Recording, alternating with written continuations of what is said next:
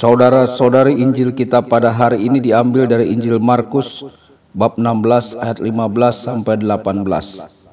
Sekali peristiwa Yesus yang bangkit dari antara orang mati menampakkan diri kepada kesebelas murid dan berkata kepada mereka, Pergilah ke seluruh dunia, beritakanlah Injil kepada segala makhluk. Siapa yang percaya dan dibaptis akan diselamatkan, tetapi siapa yang tidak percaya akan dihukum. Tanda-tanda ini akan menyertai orang-orang yang percaya. Mereka akan mengusir setan-setan demi namaku. Mereka akan berbicara dalam bahasa-bahasa yang baru bagi mereka.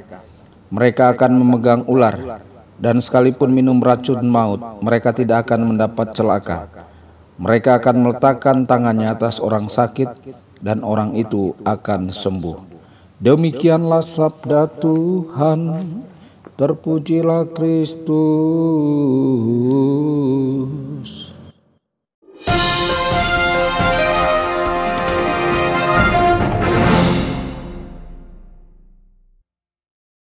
Saudara dan saudari terkasih di mana pun Anda berada, jumpa lagi dengan saya Romo Tedens dalam saluran Warta Kabar Sukacita. Semoga Anda semua di mana pun berada senantiasa dalam keadaan sehat dan bahagia. Saudara-saudari, dunia kita membutuhkan pembawa kabar harapan. Yesus Kristus adalah pesan yang sangat dibutuhkan oleh setiap orang. Dia adalah pesan Allah kepada manusia. Pesan yang mengatakan kepada manusia bahwa Allah sangat mengasihi mereka dan menawarkan jalan menuju kehidupan dan keselamatan sejati. Dunia kita sering kali mencari cinta di tempat yang salah. Dunia perlu menemukan jawaban atas keinginan terdalamnya di dalam Kristus. Namun siapakah yang akan menyebarkan pesan ini?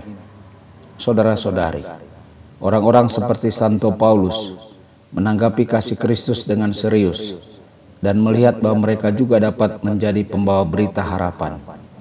Apakah kita pun menjadi pembawa berita harapan?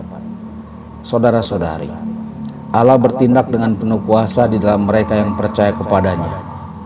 Paulus mencontohkan apa yang dapat Allah lakukan melalui seseorang yang percaya kepadanya.